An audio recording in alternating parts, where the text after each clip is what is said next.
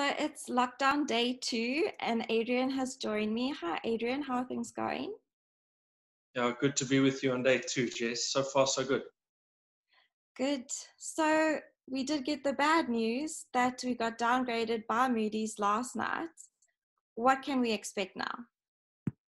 Now, when we chatted yesterday, I said to you, you know, it was a 50 50 call. Uh, the 50 with us not being downgraded was the suggestion that Moody's might take into consideration that the environment had changed uh, so spectacularly and swiftly, and that might give us a benefit of doubt.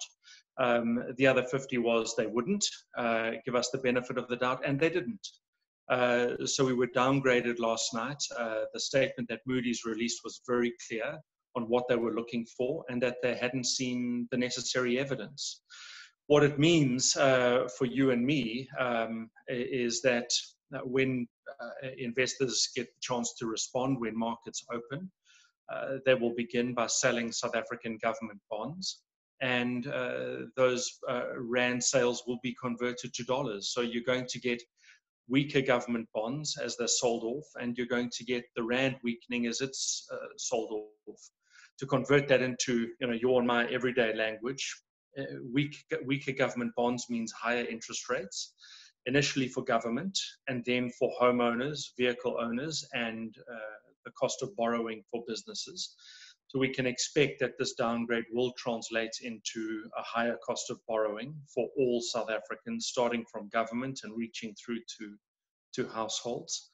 And it's also going to uh, uh, translate uh, into RAND sales. Now, given where the rand is trading at the moment, it already looks extremely weak, and a lot of people have argued that the downgrade was in the price. We'll know that uh, in the fullness of time if the rand weakens even further from here. If we take it at face value, uh, when the rand sells, uh, we import 30% of our economy, and so one third of our economy is going to experience higher imported prices, i.e., inflation. It's not good news. So, what do we need to do from here then to regain our investment grade status? Look, it's a tough, it's a tough uh, circumstance that we find ourselves in, and if you're going to recover, uh, you want to be recovering from uh, a stronger footing, a stronger position, and we're in a tough patch. So I think it would be grand or sweeping to say, well, we can recover from here easily. Uh, what's needed is uh, clear and uh, direct policy action to get the ratings agencies to change their minds. They want to see evidence, they want, don't want to see talk.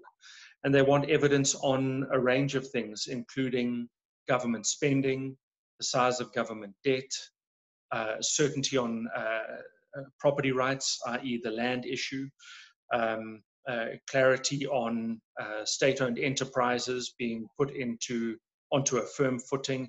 So that's what they're asking for. And that's not uh, a result that will come about in the space of months or even quarters. I think South Africa's downgrade puts us into a situation where we're going to have to work uh, with determination. Uh, we're going to have to work collectively, public and private. And uh, it's not a case of, well, this time next year we'll be back uh, in the land of milk and honey. I think we're here for a couple of years uh, in this sub-investment grade status, and we can find our way back if we do the right things. The, the if is if we do the right things. So it's our job now. It's not their call, it's our job. All right. And how is your lockdown going? How are things going in your area? Yeah, you know, look, if I step uh, if I step outside uh, and look onto the streets and uh, uh across the across the garden, uh, my community sort of has taken this seriously and is responding appropriately and behaving, you know, according to uh, the requirements and and the discipline, the important discipline of of this lockdown unfortunately, I don't think that that's the circumstance for many South Africans, that many South Africans live in very close proximity, crowded circumstances. Uh, and perhaps, uh, you know, it's, it's early days and it's too soon to know, but you know, we'll get the, uh, the evidence of this in the fullness of time uh, just to see how effective this lockdown has been, not just for you and me, but for South Africa broadly.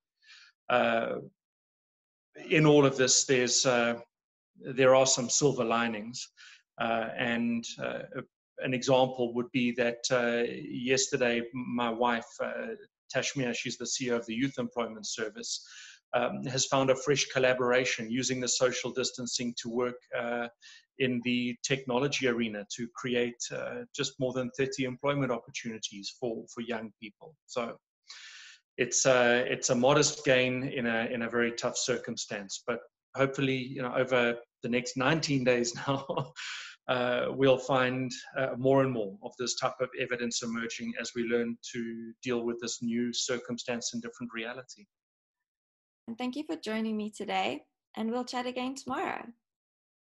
Look forward to it, Jess. Cheers. Speak to you then.